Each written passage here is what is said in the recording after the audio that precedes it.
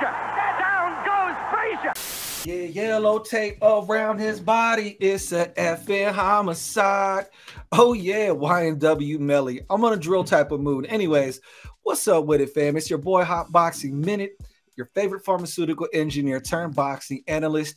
Back at you with that uncut realness, of course, as only I can serve it to you.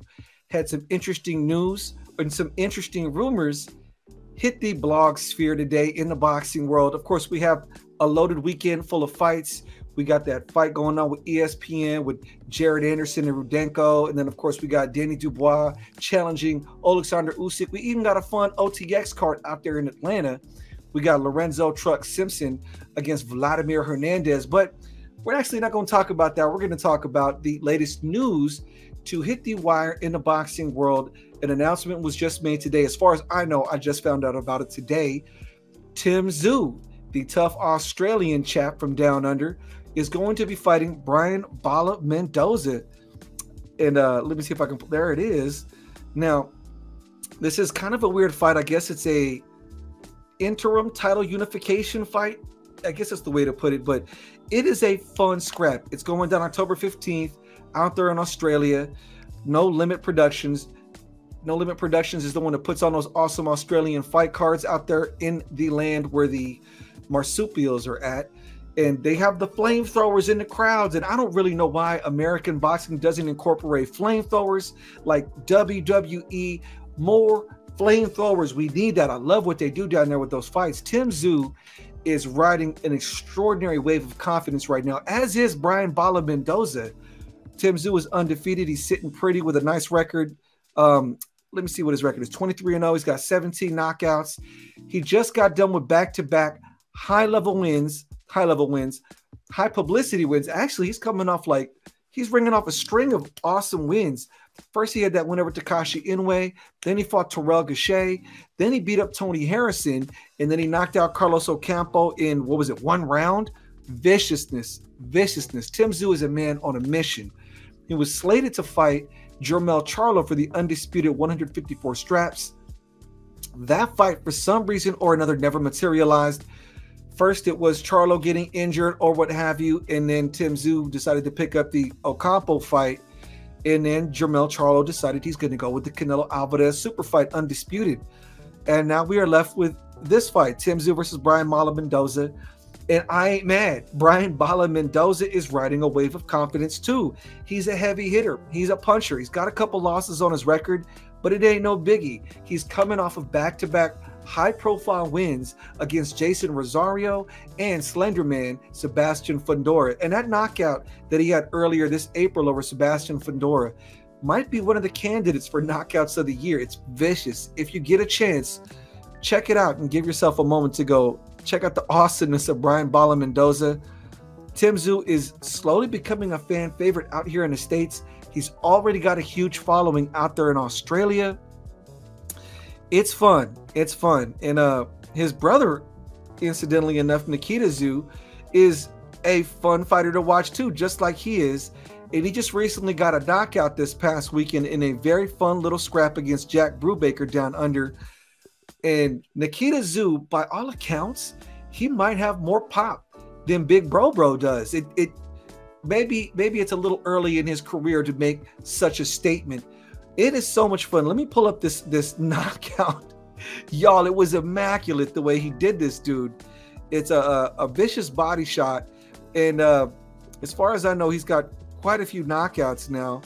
Uh, out of his seven wins, six of them have been by stoppage, but Jack Brubaker was no match for him. This was a highlight of a fight. I believe it was earlier today, if not yesterday. It just recently happened.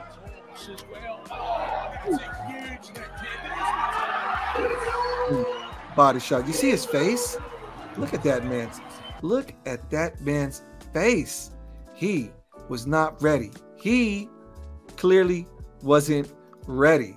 You know what I mean? So it's it's going to be interesting. I, I think this kind of fight is is one that boxing fans should get behind because it's, it's going to be a fun action-packed bruiser fight between two heavy punchers and you know this boxing year has been so awesome thus far and it should end in this last quarter of 2023 with some more awesomeness tim tszyu versus brian bala mendoza we also got the news i just broke about Zurdo Ramirez against Joe Smith Jr. Boxing fan.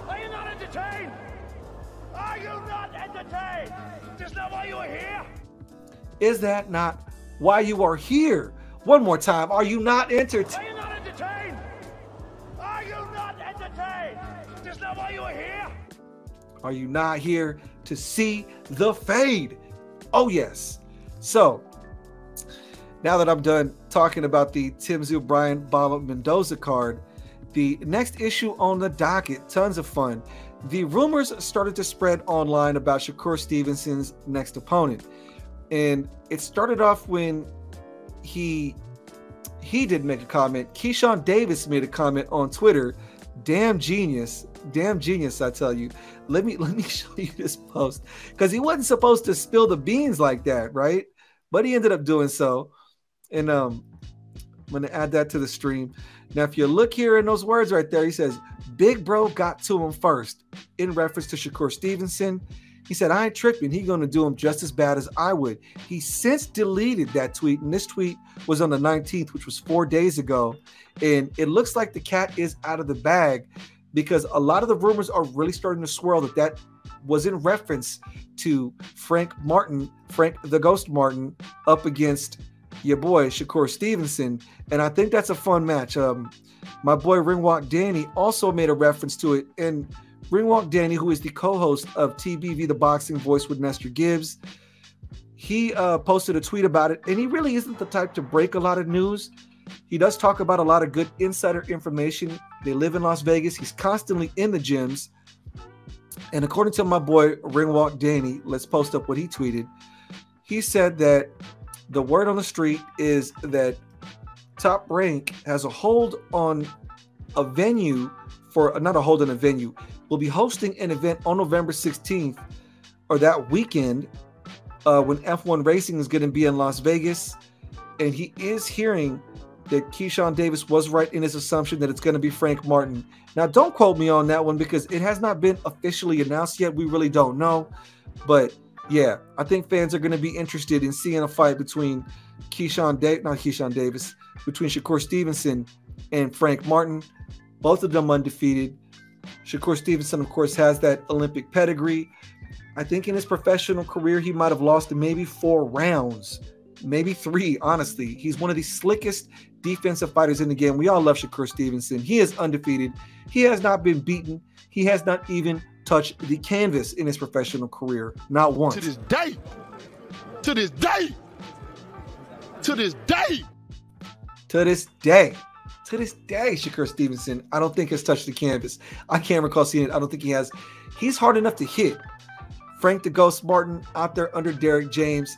He just came out of a lackluster performance against a tough German whose name I'm not even going to try to pronounce but he has been adamant about getting that fight. And if you look at the rankings list, let me see if I can pull up the um the rankings for that. So in the lightweight division, in the 135 pound in the WBC rankings, Shakur Stevenson has been having one hell of a time trying to find an opponent. And it seems like everybody's just kind of ducking the smoke. I don't know, man. I hate to be the one to say people are ducking, but it, it's starting to look like that. Let me see if I can pull this up. So if we look at the WBC rankings, where we are here. Okay. So let me see if I can zoom in on this. And I can. Oh, why did it go to a different weight class? So let's see if I can pull this up. Devin Haney, Shakur. I'm trying to show you guys what the listings look like, and it keeps moving me into different weight classes um, as I'm zooming in. All right, boom. So let me do a quick breakdown to let you guys know what I'm looking at here. I'm looking at the rankings in the WBC ranking system. So hold on, it got me in a 140 pound division. I'm trying to get into 135 so I can visually show you what it is Shakur Stevenson has been going through trying to get this fight. So let me pull up the screen for you folks. All right. The WBC right the BoxRec rankings. There it is.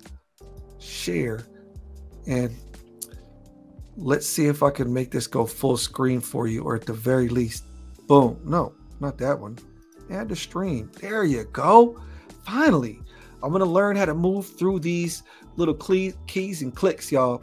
In the WBC ranking system, you have, of course, the undisputed lightweight champion Devin Haney. Now, Shakur Stevenson did petition the WBC to get that mandatory crack at Devin Haney. Vasyl Lomachenko is going through some domestic stuff out there in Ukraine.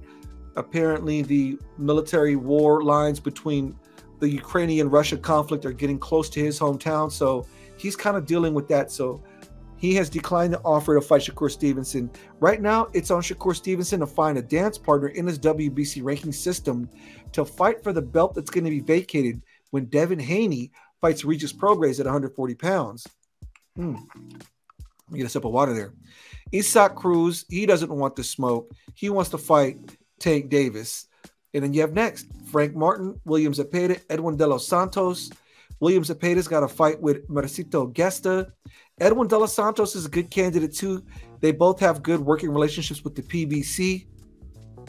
So, by all accounts, it looks like it might be Frank the Ghost Martin and Shakur Stevenson. I think that is such a fascinating matchup. I want to see Shakur in a very challenging fight with another technician. And Frank Martin, although he did kind of start late in the boxing game, is fun to watch. He's got a lot of pop, and I'm sure he's eager to make up for that win even though he won, it went to a decision and he caught a lot of criticism for it because he fought a former Olympian. Uh, forgot what the German dude's name is, and I'm not even going to try to pronounce his name. But, anyways, what do you folks out there think about the fight between Tim Tszyu and Brian Bala Mendoza? And what do you think about the matchup between Shakur Stevenson and Frank Martin? Not that that's official, but I think that's going to be what's next. Let me know what you think about those matchups, folks. In the comments section, leave a comment Hell, if you got any ideas for future episodes, throw those in there too. Hit that like button, hit follow if you haven't already done so. This is Hot Boxing Minute, the future of boxing analysis on YouTube and TikTok. Peace.